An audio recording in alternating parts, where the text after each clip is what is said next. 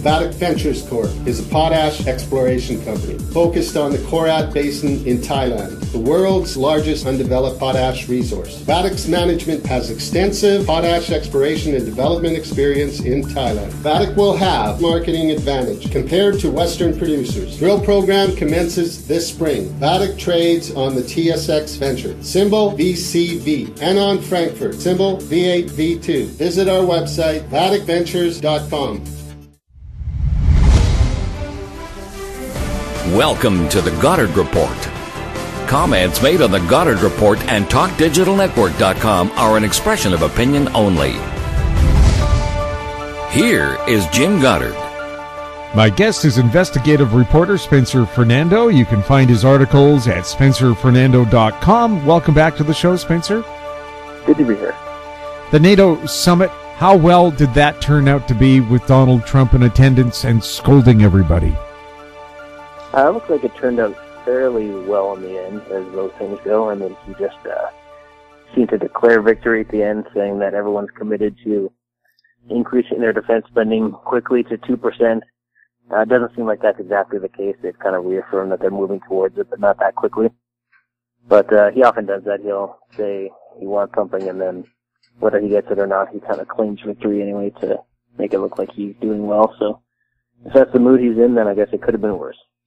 How do you think he's going to do with his uh, meeting up with the Queen?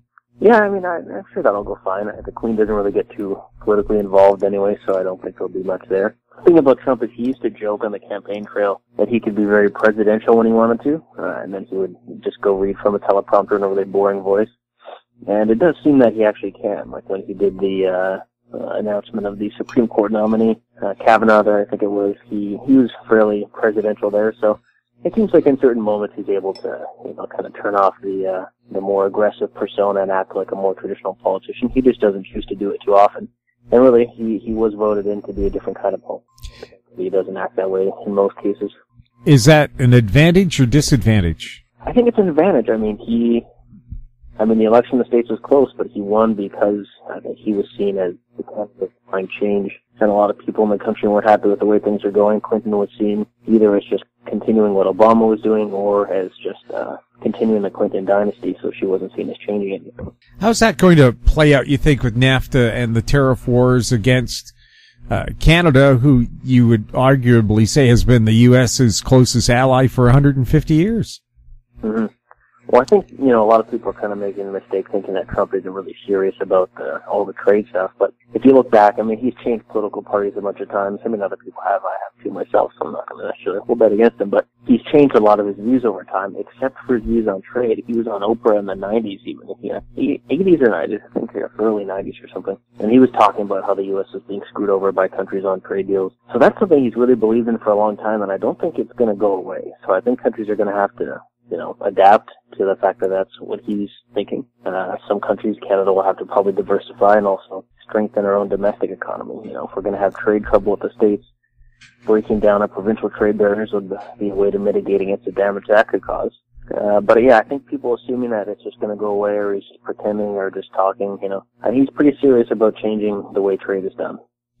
Would his tariffs be considered a failure if he has to subsidize people who are being hurt by countervailing duties? Uh, I guess it depends on people's perspective. From like a pure free market perspective, that would be seen as a failure. Uh, but Trump's definitely more of an economic nationalist, so I think if he if it came to the point where they were subsidizing companies to boost manufacturing production in the states, I don't think he would really see that as a bad thing. You know, he wants more tangible goods being produced, he wants more factories opening up and he doesn't seem to care too much about budget deficits. So I, I don't think he would be too uh, troubled by that. The Republicans in Congress, most of whom are much more free market oriented, they would probably have a problem with that. So it'd be interesting to see uh, what kind of tension there'd be there. Was Trump correct to say that most of the countries in NATO are not pulling their own weight or contributing what they promised to? Well, yeah, from a factual perspective, it is that is correct. Uh, the U.S. spends, I think, 3.6 percent of their GDP on their military, and they have the biggest GDP in the world. So that's why their military is the the biggest in terms of spending in the world. Uh, other countries spend far less. Uh, Germany spends uh, 1.2 or 1.3. Canada is about 1.3. um, maybe 1.2, and that's after the government included a bunch of different things in defense spending to boost the number. It was about 0.9 before. So, and very few countries, I think Estonia, Greece, um, Britain, I think they all meet the uh, the NATO standards for two percent, maybe one or two others. Uh, Poland's very close. I mean, in Greece's case, I mean that's because their economy collapsed. So if your GDP gets cut by a third, then all of a sudden your defense spending as a percent of GDP looks bigger. But uh, yeah, so it is true. And you know, it's what's kind of ironic is that all the countries, even Canada and Germany, they talk about how afraid they are of Russia, and then they don't spend much in their military. I mean, Germany has a far bigger economy than Russia in terms of GDP if Germany spent even three or four percent of their military, I mean, they could have a military equivalent to that of Russia. I mean, whether we want the Germany and Russia competing against each other militarily again is another question, but they can't, on the one hand, act so afraid of Russia, but then not increase their defense spending. Is the U.S. correct to complain about Germany uh, getting more natural gas and oil from Russia from a giant pipeline? I think so. It is pretty hypocritical on Germany's part because they, I mean, they shut down much of their coal industry. Uh, they put a bunch of regulations that kind of strangled their ability to produce energy. And then they bought a bunch of, they're buying a bunch of gas from Russia. So they send billions of dollars to Russia every year. Um, and they make themselves dependent on Russia. I mean, Russia could turn off the, the taps. Obviously, Russia would lose money, but Germany would lose, you know, the ability to heat a lot of their country. So that'd be a serious problem. And so yeah, it's you know it's very hypocritical to on the one hand say you know we want the U.S. to spend their money defending Germany because the U.S. has about thirty something thousand troops in Germany, but also we're going to buy a bunch of energy from Russia and make ourselves beholden to Russia in that way, and not spend much on our military. So I, I could see why the U.S. is upset about that. I mean, it's not popular to agree with something Donald Trump says necessarily, but in this case, I think he does make a good point. Where would Germany get its oil and gas if they didn't get it from Russia? Well, they could get it from the United States.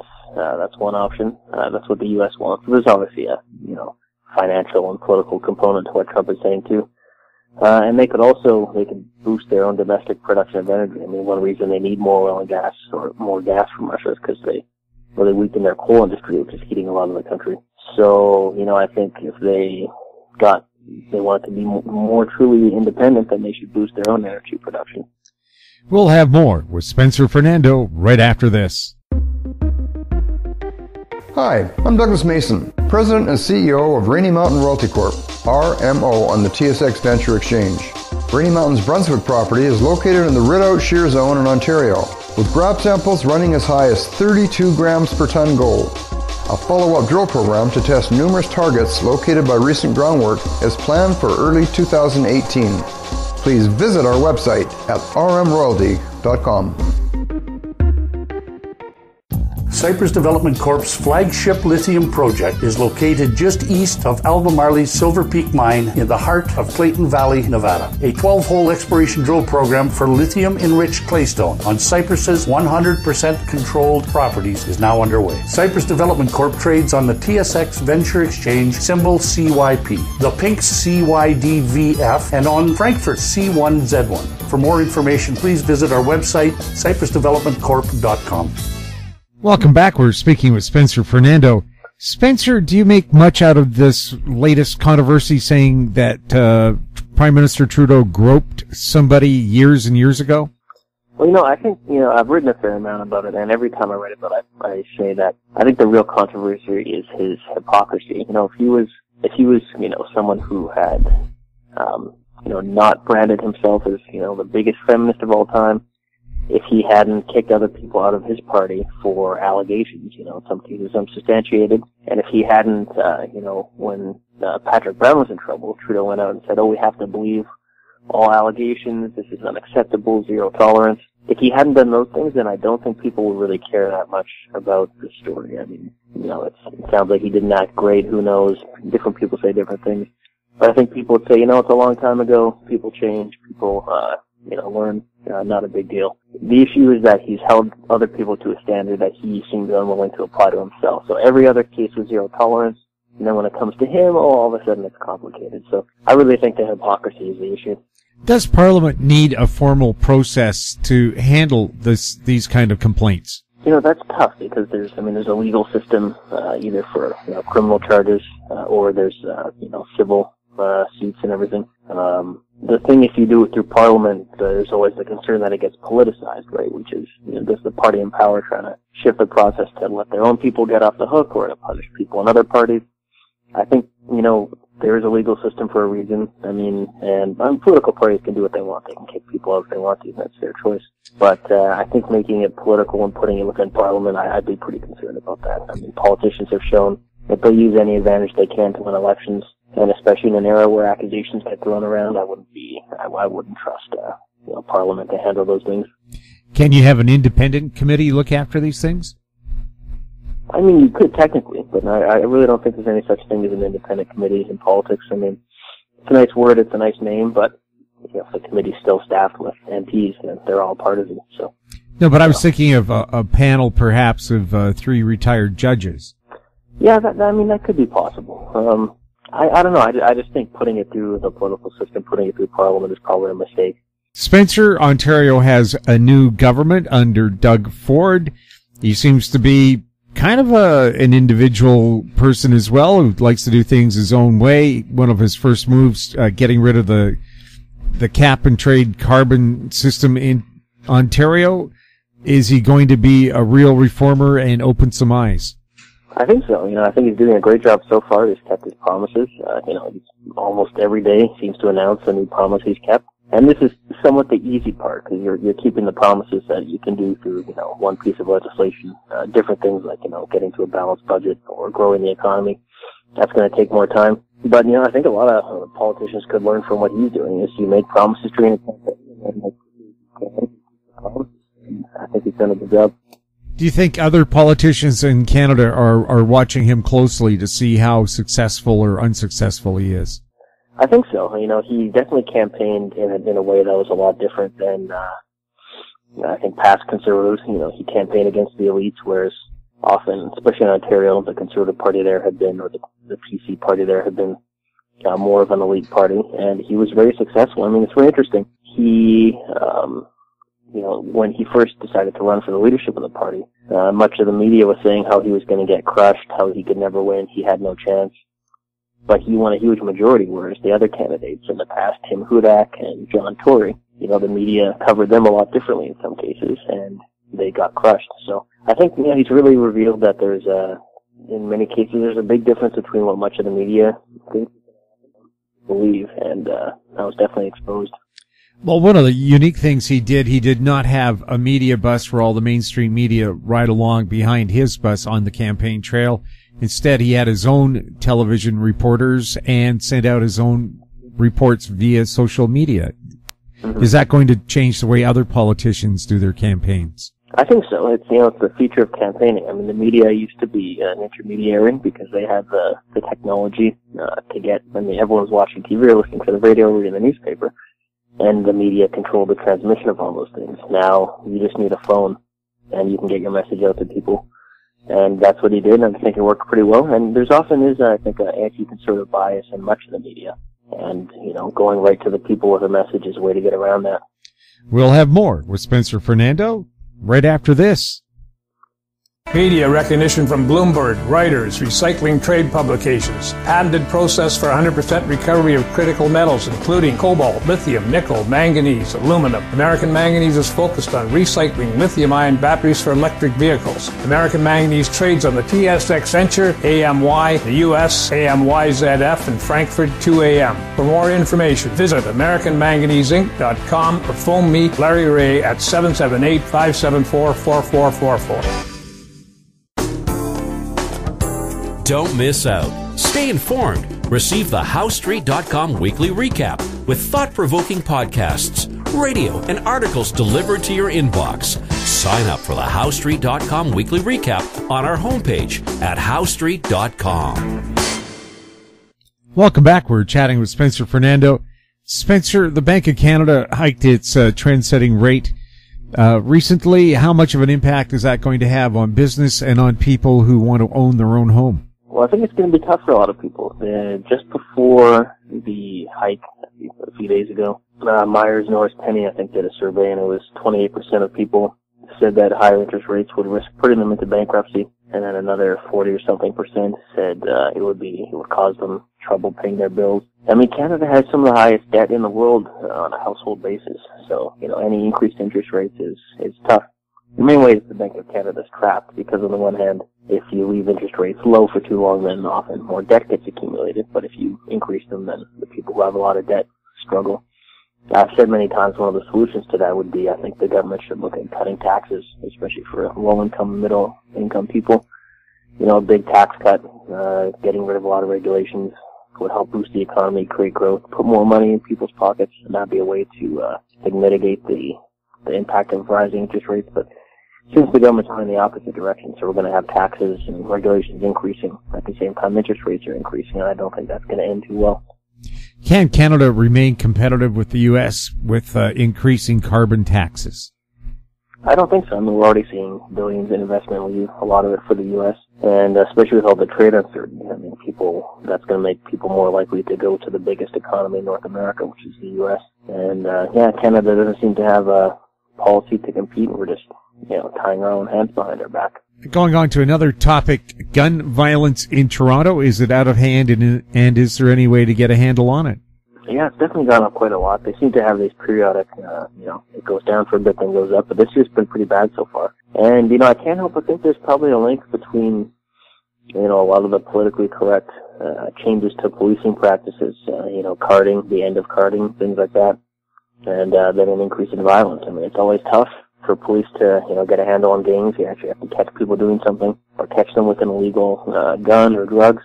And carding was a way to do that. And there were people who felt it was, uh, you know, uh, prejudiced or something. But there's there's uh, seems to be a correlation between kind of a softer policing methods and an increase in crime. Well, Greater Vancouver also has a a problem with. Uh, it seems we have a gang related shooting every second day the Vancouver anti-gang squad seemed to get kind of a handle on it because they went to all the places where the gangsters like to hang out. And of course, maybe they didn't card them, but they spent a lot of time talking to them and their girlfriends and making them feel uncomfortable.